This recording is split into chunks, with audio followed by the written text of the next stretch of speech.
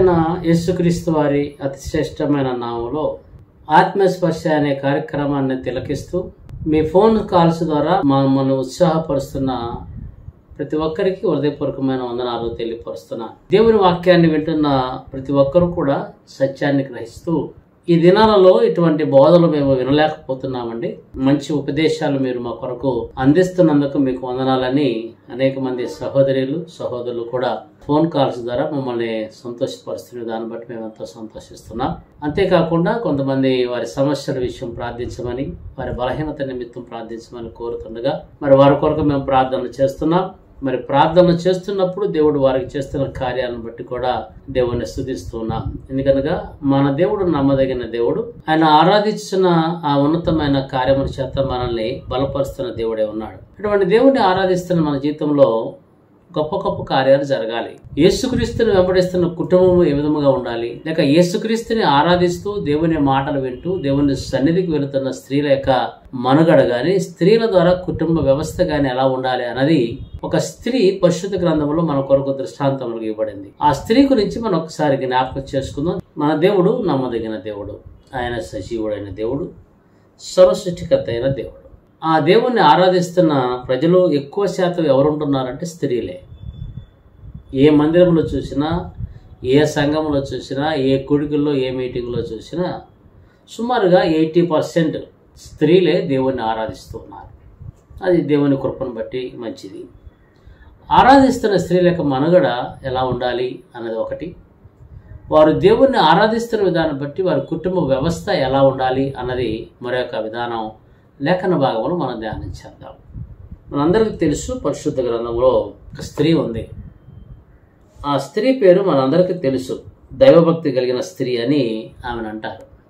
ఎందుకని దైవభక్తి కలిగిన స్త్రీ అని ఆమెకు బిరుదు ఇవ్వబడింది? అంటే ఈ రోజుల్లో స్త్రీలు అనేక సంవత్సరం నుంచి దేవుణ్ణి ఆరాధిస్తున్న వారైనప్పటికీ కూడా వారి పిల్లలే వారిని దైవభక్తి కలిగిన స్త్రీ అనలేకపోవడానికి గల కారణం ఏమిటి? అనేది ఈ రెండు రకాలుగా మనం పరిశీలన చేస్తే ఆ రోజుల్లో జీవించిన స్త్రీలు భక్తి కలిగిన వారే దైవభక్తి కలిగిన వారే ఆ భక్తి జీవితాన్ని వారు కొనసాగించకపోవటం వారు కొనసాగించడమే కాక వారి కుటుంబాన్ని కూడా కొనసాగించినట్టు వారు ప్రేరేపించిన విధానం నడిపించిన విధానం పెంచి పోషించిన విధానం మనం లేఖన భాగంలోనే మనం చూస్తున్నాం.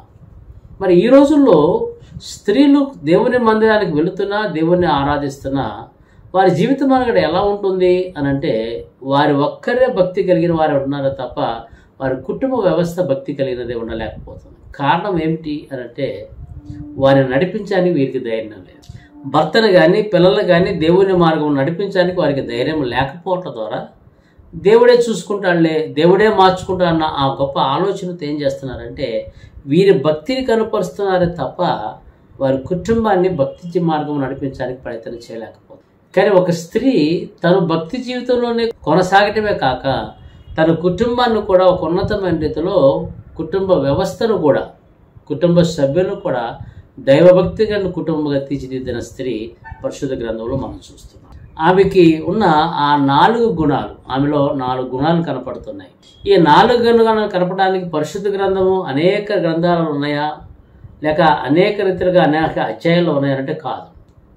ఒకే పుస్తకంలో ఒకే అధ్యాయంలో ఐదు వచనాల్లో తన జీవితాన్ని మనకు పొందుపరిచాడు దేవుడు. ఐదే ఐదు వచనాల్లో తన భక్తి జీవిత విధానము తన కుటుంబ ఆధ్యాత్మిక స్థితి విధానం తన కుటుంబ ఆర్థికపరమైన స్థితి విధానం తన కుటుంబం ఆధ్యాత్మికమైన స్థితి విధానం అంతేకాకుండా ఆతిథ్యమునిచ్చే కుటుంబముగా అది తీర్చిదిద్దబడినట్టుగా ఐదు వచనాల్లో మనకు తెలియపరిచాడు. ఈ ఐదు వచనాలలో కొన్ని మాటలు మనం ధ్యానం చేయాలి. ఎందుకనగా ఒక ప్రాంతానికి చెందిన స్త్రీ మరొక ప్రాంతానికి వెళ్ళి వ్యాపారం చేస్తూ ఉంది.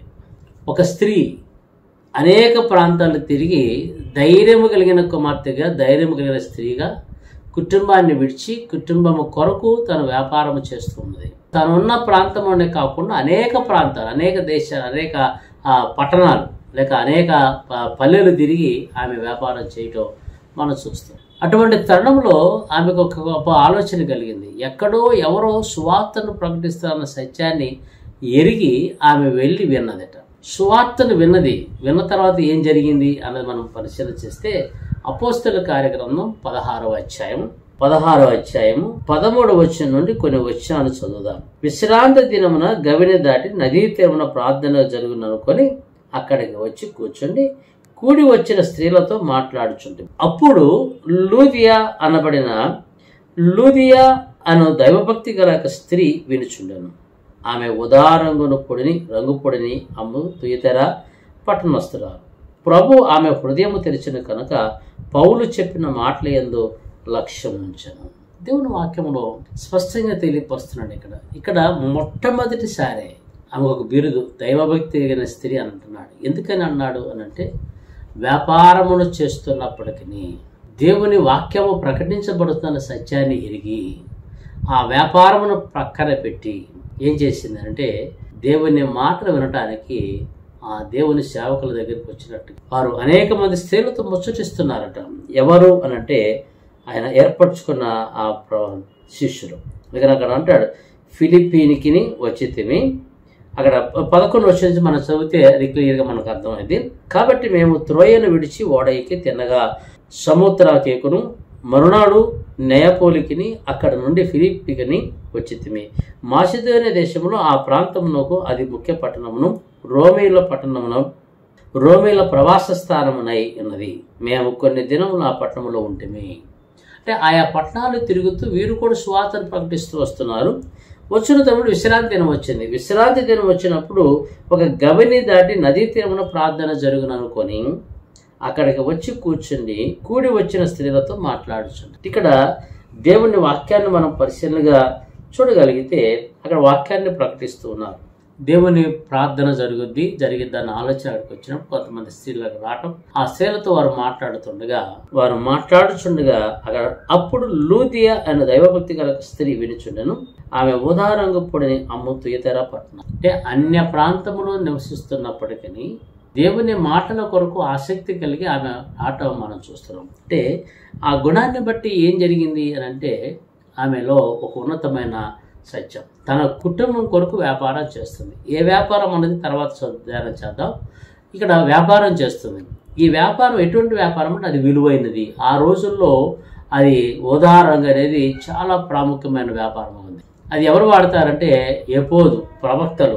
యాజకులు వాడే ఆ వస్త్రాలను నేసే నెయ్యటకు దాని రంగును వేసే విధానముగా అక్కడ చూస్తూ ఉన్నాం.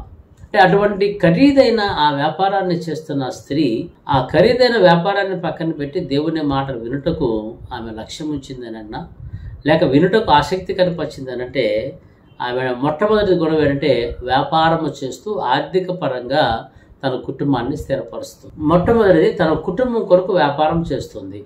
వ్యాపారం చేయటంలో తన ఉన్న స్థలంలో కాదు తన ఉన్న గృహంలో కాదు. ఈ రోజుల్లో వ్యాపారం చేస్తున్నారు.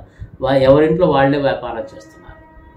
అంటే ఎవరింట్లో వారే వ్యాపారం చేస్తడం ద్వారా ఏదైనా అభివృద్ధి ఉందా అని అంటే కనపడదు. ఏదో కొద్దిపాటి కనపడదు తప్ప ఎక్కువగా కనపడదు. కారణం ఏంటంటే వారు అధైర్యవంతుల వలె వారు గృహంలో నుండి వ్యాపారం చేస్తున్నారు.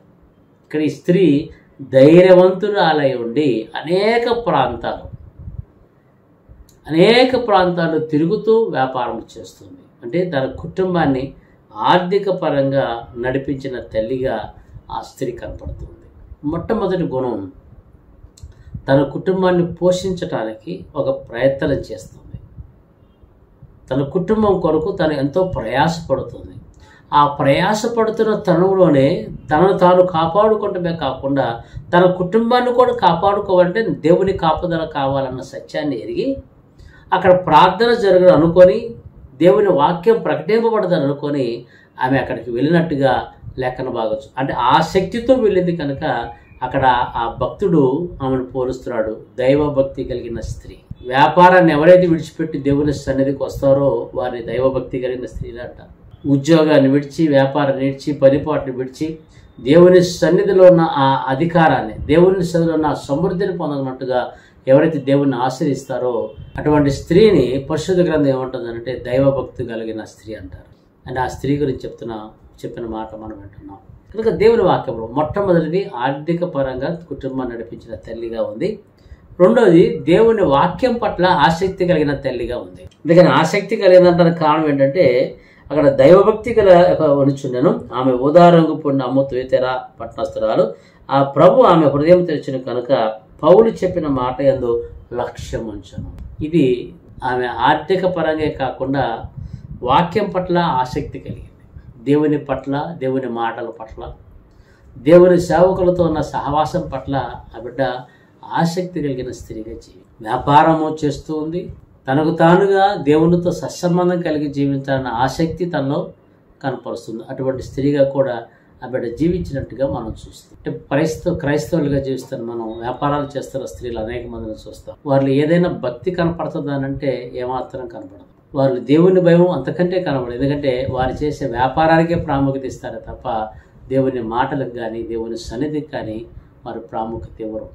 ఇవ్వకపోవటం వల్ల ఏం జరుగుతుందో వారు అనుభవిస్తున్నప్పటికీ కూడా ఆ సత్యాన్ని గ్రహించరు. కానీ స్త్రీ మనకు నేర్పిస్తున్న పాఠం ఏంటంటే నేను ఎంత వ్యాపారస్తున్నారైనా నేను ఎంత ఆర్థికపరమైన స్థితిలో నా కుటుంబాన్ని నడిపించినా నాకు నా దేవుని తోడు కావాలి. నా దేవుని కాపుదల కావాలి నా దేవుని సన్నిధి నాకు కావాలని గొప్ప ఆశతో ఆమె ఆసక్తితో ఆమె దేవుని మాటలు ఎందు లక్ష్యం ఉంచిందనంటే ఎంత ధన్యురాలో కదా. దేవుని మాటలు ఎందు లక్ష్యం ఉంచితే ఏం జరుగుద్ది అంటే అన్నింటిని పక్కన పెడతాం. దేవుని మాటల కొరకే మనం పరిగెత్తాం. దేవుని ఉపదే ఈ దినం దేవుడు నాతో ఏం మాట్లాడతాడు ఎటువంటి సత్యాన్ని నాకు బయలుపరుస్తాడు నా మునుగడ నా పాపపు క్రియలను ఏ విధంగా బయలుపరుస్తాడన్న సత్యాన్ని ఎరగటమే కాకుండా ఏ విధంగా నన్ను బలపరుస్తాడో? ఏ విధంగా నన్ను ధైర్యపరుస్తాడో? ఏ విధంగా నేను శక్తిమంతురాలుగా జీవించడానికి ఏ విధంగా నాతో మాట్లాడతాడో అన్న ఆశ ఆసక్తి ఆ స్త్రీలో ఉంది కాబట్టే ఆమె దేవుని మాటల ఎందు లక్ష్యం ఉంచను అన్నమాట లేఖన భాగాలు మనం స్పష్టంగా చూడగలుగుతున్నాం. క్రైస్తవులుగా జీవిస్తున్న మనం కూడా దేవుని మందిరానికి వచ్చి వాక్యాన్ని వెళ్ళి వెళ్ళిపోవటమే కాదు ఆ తర్వాత జరగవలసిన క్రియ కూడా ఏమిటి అని అంటే అక్కడ అంటాడు పదహారు వచ్చే పదిహేను వచ్చంలో ఆమెయు ఆమె ఇంటి వారును బాప్తిష్టం పొందినప్పుడు ఆమె నేను ప్రభువునందు విశ్వాసం గలదానని మీరు ఉంచింది ఇక్కడ ఒక సత్యాన్ని తెలియపరుస్తున్నాడు ఇక్కడ. మూడవ కారణం ఒకటి ఆర్థిక పరంగా కుటుంబాన్ని పోషించే తల్లిగా ఉంది నడిపించే తల్లిగా ఉంది. రెండోది తనకు తాను వ్యాపారం చేస్తున్నప్పటికీ కూడా వ్యాపారమును కొనసాగిస్తున్నప్పటికీ కూడా దేవుని సన్నిధి పట్ల దేవుని వాక్కు పట్ల ఆసక్తి కలిగిన కుమార్తెగా ఆసక్తికరమైన స్త్రీగా కాక తన కుటుంబాన్ని కూడా ఆధ్యాత్మికంగా నడిపించుకునే స్త్రీగా కూడా ఆవిడ గుర్తింపు పొందినట్టుగా మనం చూస్తున్నాం. అందుకని అక్కడ అంటుందన్నమాట ఆమెయు ఆమె ఇంటి వారును బాప్తిసం పొందినప్పుడు అన్నమాట. అంటే ఆమె ఏ విధంగా బోధించింది పిల్లలకి? ఆధ్యాత్మికంగా వెంటనే ఆమె బోధించిన వెంటనే విన్నారంటే కాదు. కొంతకాలము దేవుని వాక్యాన్ని వింటూ ఉంది వ్యాపారానికి వెళ్తుంది సమయ దొరికినప్పుడు దేవుని సన్నిధికి చేరుతుంది దేవుని సేవకుల ద్వారా మాటలు వింటుంది. మాటలు విని దాని ఎందు లక్ష్యం ఉంచింది అంటే దాన్ని ధ్యానం చేస్తుంది. దాన్ని పరిశీలనగా ధ్యానం చేస్తుంది. ఆ ధ్యానం చేస్తున్న విధానంలో నా మనగడ ఏమిటి? నా బిడ్డల భవిష్యత్తు ఏమిటని ఒక ఉన్నతమైన బిడ్డలకు కూడా నేర్పించినట్టుగా బోధించినట్టుగా మనం చూస్తాం. అవి ఎక్కడ చేసిన వ్యాపారం చేసినప్పటికీ బిడ్డలు ఆయా పన్నుపాటలు లేకపోతే ఆయా విద్యలో ఉన్నప్పటికీ కూడా రోజుకి ఒక్కసారి అయినా సరే కొంత సమయాన్ని బిడ్డతో గడిపింది అనడానికి ఇది ఒక నిదర్శనంగా కనపడుతూ ఉంది. ఈ రోజుల్లో తల్లులు ఉన్నారు. బిడ్డలతో గడపడానికి సమయం ఉండదు. ఉదయాన్నే లెగుస్తారు వారి పని పాటలు ఏదో చేసుకుంటారు. పనికి వెళ్ళిపోతారు మళ్ళీ సాయంత్రం ఎప్పుడో వస్తారు వారి పని పాటలు చేసుకుంటారు. బిడ్డలు ఎక్కడికి వెళ్ళారో ఏం చేశారో ఎలా ఉన్నారన్న ఆలోచన కూడా వారికి ఉండదు. కానీ ఈమె గొప్ప వ్యాపారమును చేస్తున్నప్పటికీ ఆధ్యాత్మికంగా ఆ దేవుని శనిలో ఆసక్తి కలిగిన కుమార్తె ఉన్నప్పటికీ కూడా ఆ బిడ్డ బిడ్డల పట్ల ఎంత ఆసక్తి కనపరుస్తుందో. బిడ్డలను పెంచి పోషించిన విధానం మనం చూస్తున్నాం. అందుకని అక్కడ అంటాడు పద్ద లక్ష్యం ఉంచను అన్న మాట మనం చూస్తున్నాం. పౌలు చెప్పిన మాట ఎందు లక్ష్య లక్ష్యం ఉంచటం అంటే అర్థం ఏంటంటే శ్రద్ధగా వినడం కాదు. విన్న వాక్యాన్ని ధ్యానించాలి ధ్యానించిన వాక్యాన్ని లక్ష్యం ఉంచితే ఏం చేస్తారంటే అదే మాటని ఇతరులకు చెప్తారు. ఈమె ఎవరికి చెప్పిందంటే తన బిడలకు నేర్పించింది తన కుటుంబ సభ్యులకు నేర్పి తన కుటుంబ సభ్యులకు నేర్పించడం ద్వారా ఏం జరిగిందని అంటే ఏ విధంగా ఆమె ఆధ్యాత్మిక పిల్లలను పెంచిన స్త్రీ వల్లే కనపడుతుంది. వ్యాపారస్తురాలుగా ఉంది. మూడోది ఆసక్తి కనపరిచింది దేవుని దేవుని మాటల పట్ల దేవుని సన్నిధి పట్ల దేవుని ప్రేమ పట్ల ఆసక్తి కనపరిచింది. ఆసక్తి కనప స్త్రీ ఆ మాటల ఎందుకు లక్ష్యం ఉంచడమే కాకుండా తన బిడ్డలకు ఆ మాటలను బోధించింది.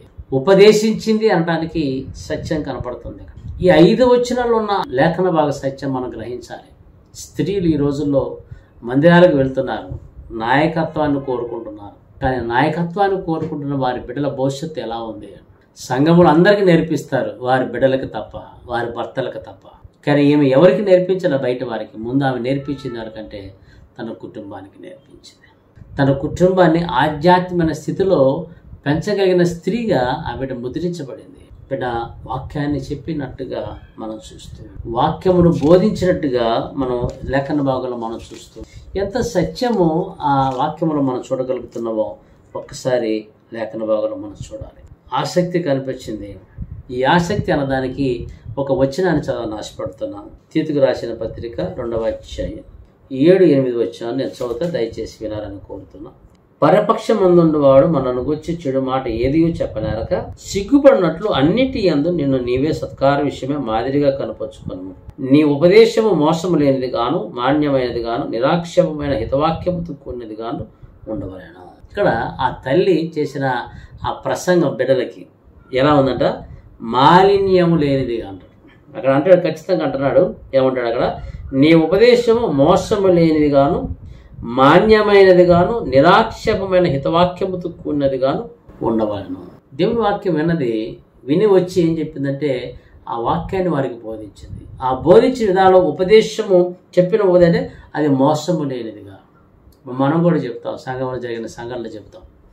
పాస్టర్ గారు అలా అన్నారు ఇలా అన్నారు. మన గురించి చెప్పారు. లేకపోతే ఆ పక్క వాళ్ళు ఇలా అన్నారు నా దగ్గర నుంచి మైకులు లాక్కున్నారు. ఇవి చెప్తుంటాం మనం. కానీ వాక్యం యొక్క సత్యాన్ని నువ్వు తెలియపరుస్తున్నావు తల్లిగా. మందిరానికి వచ్చి నువ్వు నేర్చుకునేది ఏమిటి? నేర్పించేది ఏమిటి అంటే ఇక్కడ ఈ తల్లి ఆధ్యాత్మికంగా నేర్పించేది పిల్లల్ని. ఎన్నో జరుగుతాయి. ప్రతి అనేక ప్రాంతాలు తిరిగి వ్యాపారం చేసి ఎన్నో జరుగుతుండొచ్చు చూస్తుండొచ్చు వినుండొచ్చుండొచ్చు.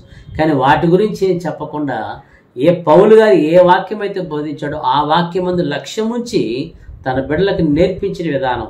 ఉపదేశించిన విధానం మనం చూస్తున్నాం. అలా ఉపదేశించింది కాబట్టే ఏం జరిగిందనంటే వెంటనే ఆమెయు ఆమె ఇంటి వారును బాప్తీసం పొందినప్పుడు. అంత గొప్ప ధన్యత ఆ కుటుంబం. ఇప్పుడు మనం కూడా మందిరాలకు వెళ్తున్నాం పిల్లలకి చెప్తా ఏం చెప్పుడుతున్నావు అన్నది మనం పరిశీలన చేసుకోవాలి.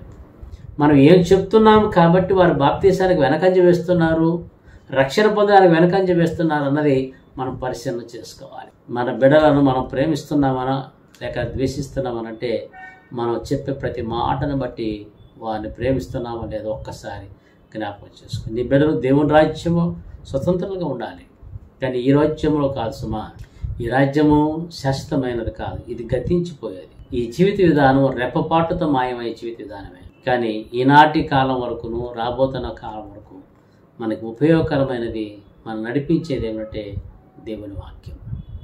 ఆ వాక్యాన్ని వింటున్న నీవు ఏం బోధిస్తున్నావు నీ పిల్లలకి ఒక తల్లిగా జరిగిన సంఘటనలు చూస్తున్న సంఘటనలే చెప్తావే తప్ప విన్న సంగతులు చెప్పవు దేవుని వాక్యాన్ని వింటున్నావు ఆ విన్న సంగతులు చెప్పనే చెప్పు దానివల్ల నీ బిడ్డలు బాప్తీసం పొందడానికి వెనకంజ వేస్తున్నారు. ఇక్కడ ఈ స్త్రీ ఆసక్తిగా ఆస్తికరంగా లేక ఆర్థిక పరంగా పెంచి పోషించిన బిడ్డలు సరిపోద్దులే వారికి సంపాదిస్తాను కదా సరిపోద్దులే అనుకోలా. వారిని ఆధ్యాత్మికంగా నడిపించాలన్న ఒక గొప్ప ఆలోచన ఆ స్త్రీలో కలిగింది. ఆ స్త్రీలో కలిగిన తర్వాత ఏం జరిగిందంటే "ఆ, నువ్వు మందిరానికి మీరు బైబిల్ స్టడీకి వెళ్ళండి మీరు సండే స్కూల్కి వెళ్ళండి మీరు చర్చికి వెళ్ళండి నేను వ్యాపారానికి వెళ్ళొస్తాను అలా ఆమె ముందు వెళ్ళింది ఆసక్తి కనిపించింది. ప్రార్థన అందుకనే దైవభక్తి కలిగిన స్త్రీ అని ఒక బిరుదును సంపాదించుకుంది. సంపాదించుకొని ఆ బిడ్డ విని అది నేర్చుకొని దాని జీవితానికి అన్వయించుకొని తన బిడ్డలకు కూడా నేర్పించినట్టుగా ఉపదేశించినట్టుగా లేఖన భాగం మనం స్పష్టంగా తెలియపరుస్తున్నాం. మూడు విషయాలు మనం జ్ఞాపకం చేసుకున్నాం. మొదటిది ఆర్థిక పరంగా నడిపించింది తల్లి.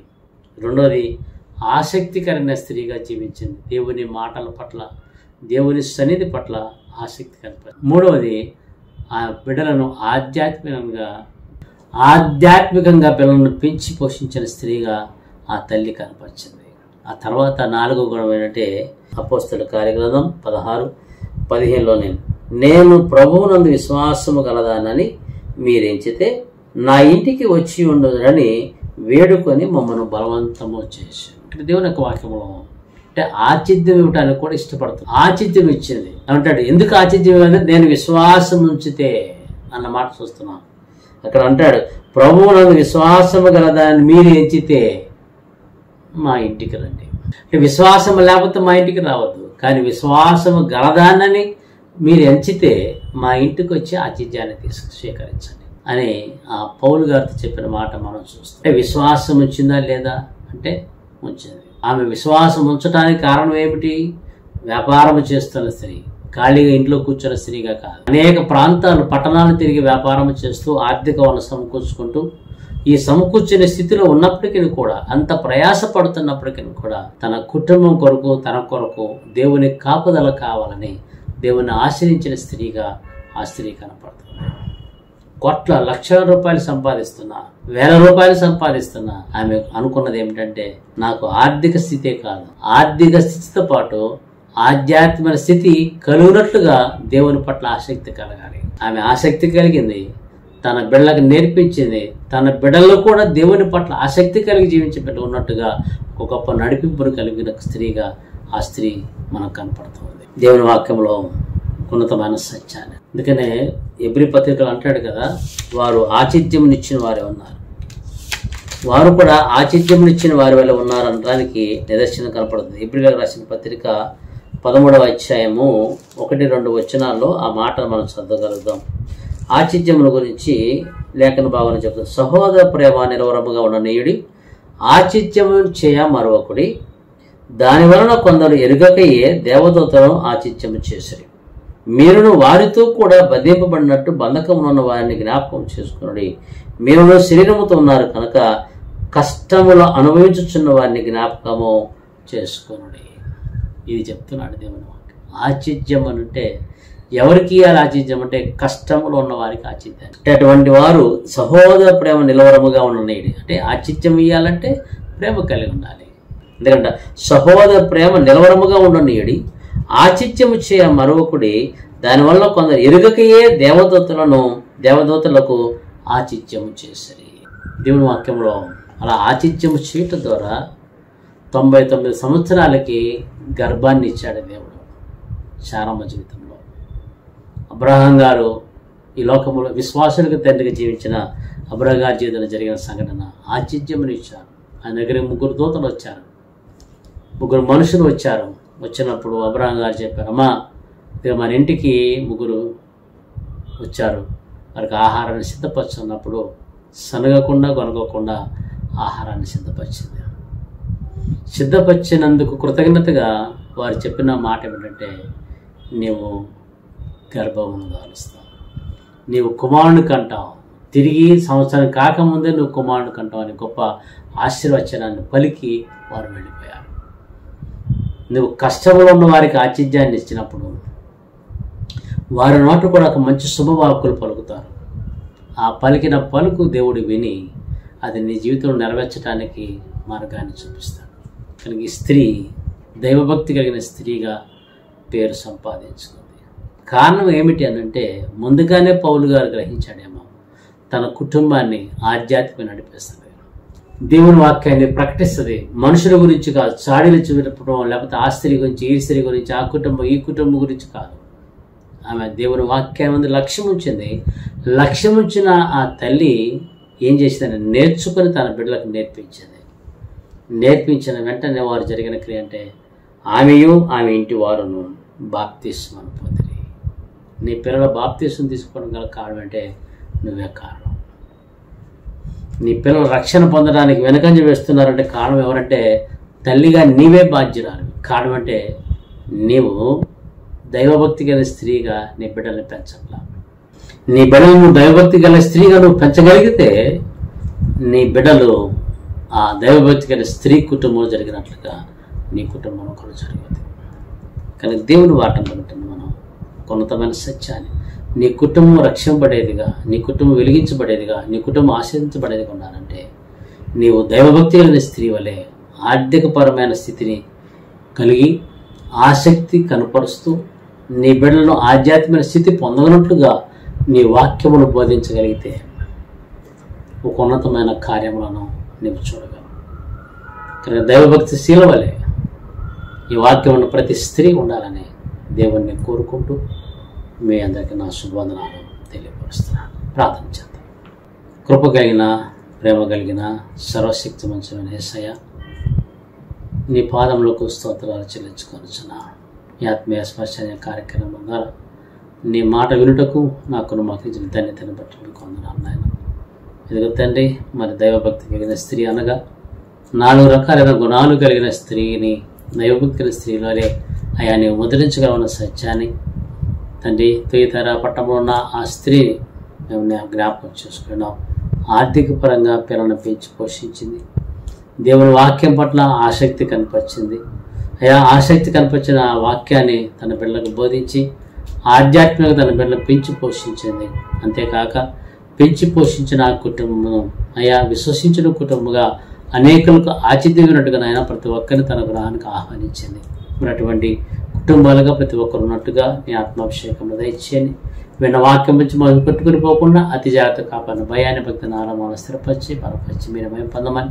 అయ్యా వాక్యం కొన్ని సమయంలో ఉన్నాయని ఎవరైతే సమస్యలు ఉన్నారో బాధలు ఉన్నారో బలహీనతలు ఉన్నారో అనారోగ్యంతున్నారో తండ్రి వారందరికీ కాసిన పరిష్కారం చూపించినట్టుగా నీ వాక్యమైన వెలుగును వారికి వెలిగింపు చేసి మీరు మహిమ తెచ్చుకోవాలని ఆత్మస్పర్శను అయ్యా సహకరిస్తే సహకరిస్తున్న నీ కుమార్తె కుటుంబాన్ని మీరు ఆశీర్వించి బలపరచమని.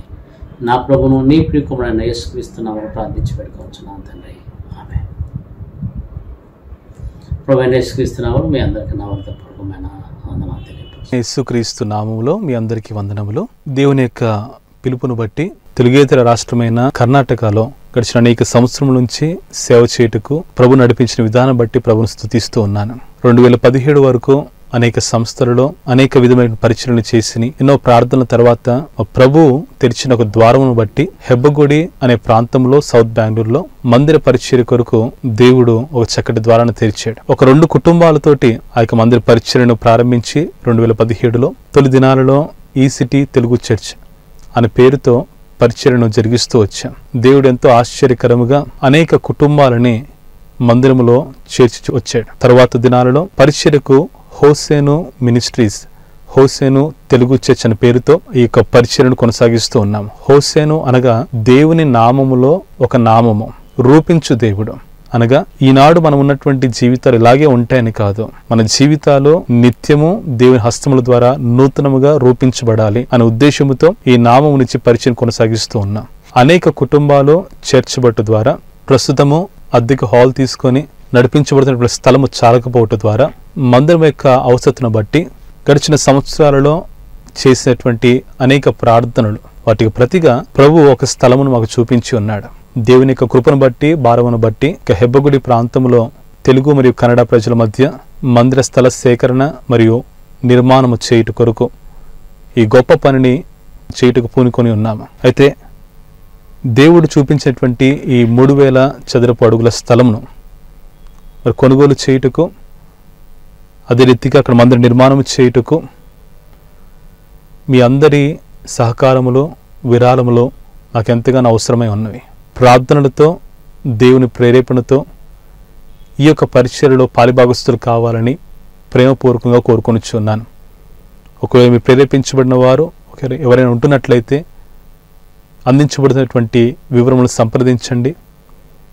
కనీసము ఒక అడుగుకైనా మీ వంతు వరకు సహకారం అందించి లేక దేవుడు ప్రేరేపించినటువంటి కొలది ఈ పరిచర్యలో మీరు పాలు పాలుభాగస్తులై అనేక తరములకు సంవత్సరాలకి సుస్థిరంగా ఉం- ఉండిపోయే ఈ దేవుని మందిర నిర్మాణ విషయంలో పాలుభాగస్తులు కావాలని కోరుకొనిచ్చి ఉన్నాం.